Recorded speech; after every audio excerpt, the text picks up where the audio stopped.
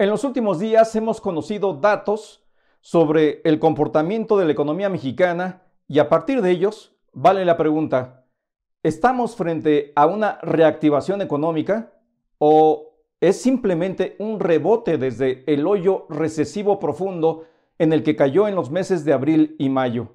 ¿Y cuál es la diferencia? Seguro estarás preguntando.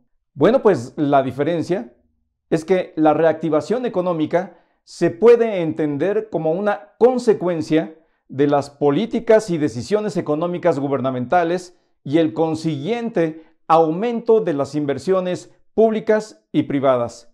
¿Y el rebote? El rebote no es más que un simple movimiento inercial producto de la frase presidencial a las empresas de rásquense con sus propias uñas. Con ese criterio hay que ver qué dicen los datos. Al cierre del mes de septiembre, el consumo regresó a terreno positivo y el empleo repuntó por segundo mes consecutivo.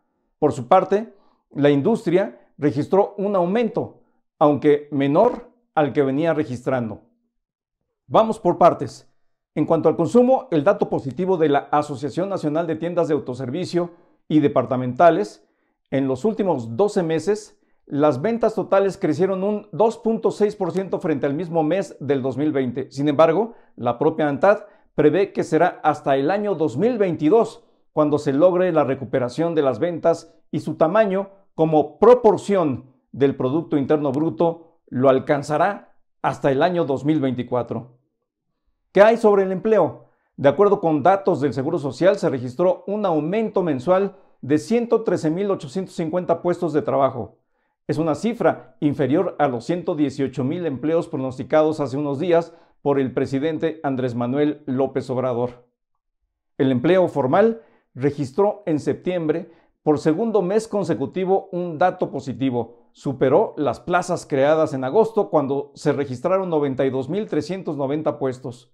En los últimos dos meses se recuperaron 206.240.000 puestos de trabajo. Sin embargo, los datos no son tan positivos porque representan apenas 18.5% del millón 117.584 empleos perdidos de marzo a julio.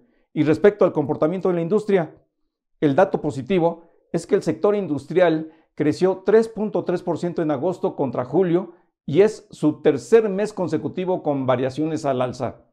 Sin embargo, la misma cifra revela una desaceleración respecto de los meses previos de junio y julio, cuando avanzó 7.1% y 18.1%.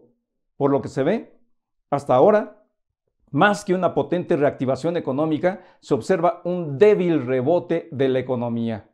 Soy Marco Antonio Mares y te invito a que me sigas en las páginas de El Economista y en todas mis redes sociales.